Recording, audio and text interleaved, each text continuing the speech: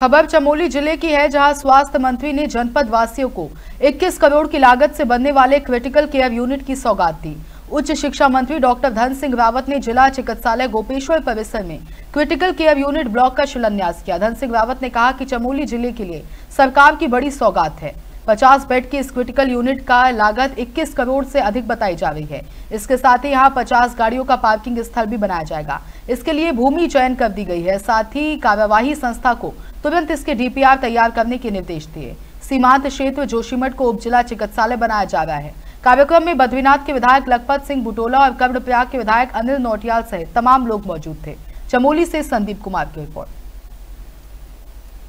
चमोली ज़िले के लिए बड़ी सौगात हमारी सरकार के द्वारा गई है यहाँ पे पचास बेड का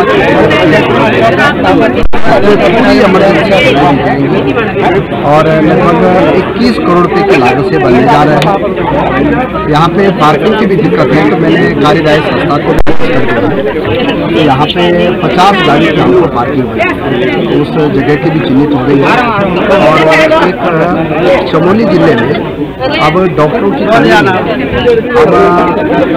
जोशीमठ में उप जिला चिकित्सालय बनाने जा रहे हैं, बद्रीनाथ में हम 50 बेड का हॉस्पिटल बनाने जा रहे हैं, वो ऑलमोस्ट बन गया है। दो तीन महीने में हम उसका गृह लोकार्पण करेंगे तो मैं प्रधानमंत्री जी का भी, मुख्यमंत्री जी का भी बहुत बहुत धन्यवाद देना चाहता हूँ कि चमोली ज़िले में स्वास्थ्य सेवाएँ बहुत बेहतर